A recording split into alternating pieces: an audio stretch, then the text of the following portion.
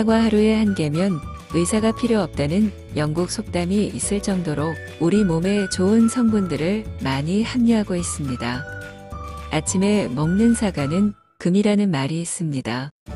아침 공복에 사과를 먹으면 좋은 이유로는 첫째, 사과의 껍질에는 팩틴이라는 수용성 식이섬유가 풍부하여 공복에 사과를 먹으면 장이 자극을 받아 대변 보는 게 수월해집니다.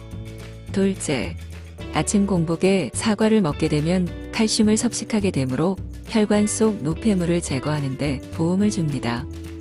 셋째, 공복에 사과 한 개를 먹으면 구연산 등의 유기산이 피로의 원인이 되는 젖산을 줄여주고 철분 흡수를 늘려 피로 해소에 도움을 주어 활력이 넘치는 하루를 시작할 수 있습니다. 반대로 사과를 밤에 먹게 되면 장 운동이 활발해지면서 숙면에 방해가 되며 미처 소화가 안 된 식이섬유가 가스를 만들어 아침에 일어나서도 속이 더부룩할 수 있으며 사과의 유기산 등이 위의 산도를 높여 누워있는 동안 속쓰림을 유발할 수 있습니다.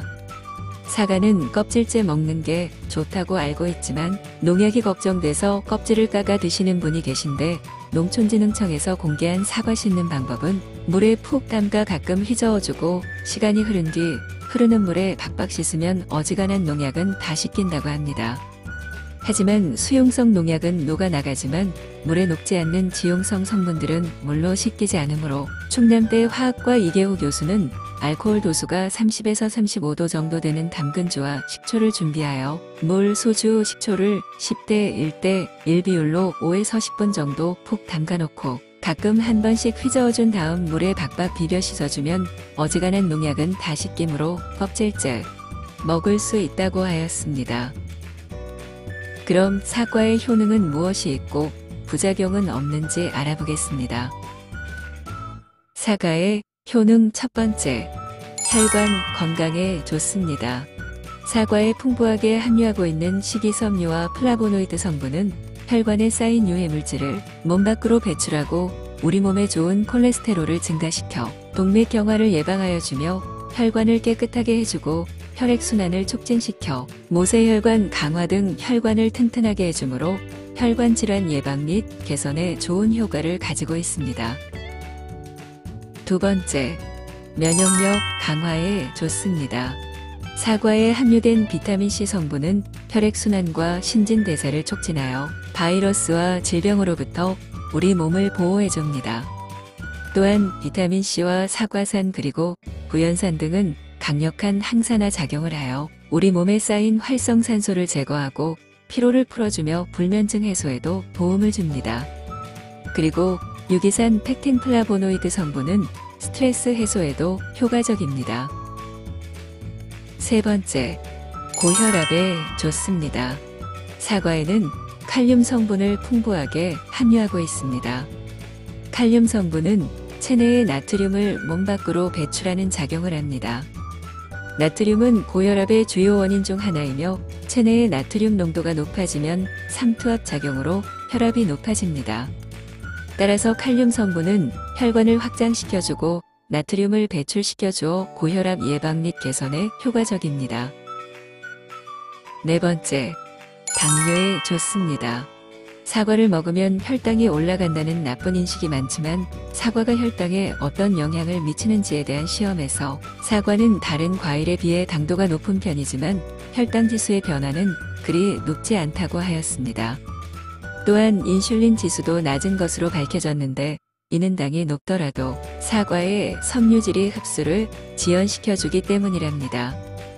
단 사과를 드실 때 껍질째 드셔야 이 같은 효능이 있으며 껍질의 플로리진 성분이 포도당을 소변으로 배출하여 혈당을 낮추는 효과도 있다고 합니다. 다섯 번째, 장 건강에 좋습니다.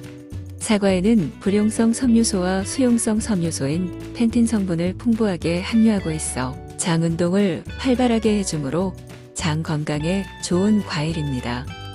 또한 식이섬유도 풍부하여 장의 연동 운동을 촉진하며 변을 단단하게 하고 변이 잘 통과되도록 도와주어 변비와 설사 예방에도 좋습니다.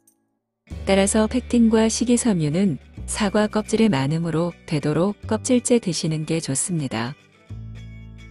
여섯 번째, 항암 작용에 좋습니다. 사과에 함유하고 있는 파이토케미컬 성분은 인체의 세포를 보호하는 항산화 작용을 합니다. 또한 항암 작용에 효과가 좋다고 잘 알려진 플라보노이드 성분도 풍부하게 함유하고 있으며 트리테르페노이드 성분은 항염과 항균 작용에 뛰어난 성분으로 유방암과 대장암 그리고 간암을 예방해주고 종양의 증식을 막아주는 효능을 가지고 있어 항암 작용에 좋은 과일입니다. 일곱 번째, 피부 미용 및 노화 예방에 좋습니다. 사과의 풍부한 비타민과 각종 미네랄 성분들은 체내의 신진대사를 원활하게 하고 혈액 흐름을 촉진하는 작용을 하여 노화를 방지하는 효능을 가지고 있습니다. 또한 사과의 껍질에 풍부한 케르세틴과 안토시아닌 등 항산화 성분은 노화를 촉진하는 활성산소를 제거하여 노화 예방 및 피부 미용에 효과적입니다.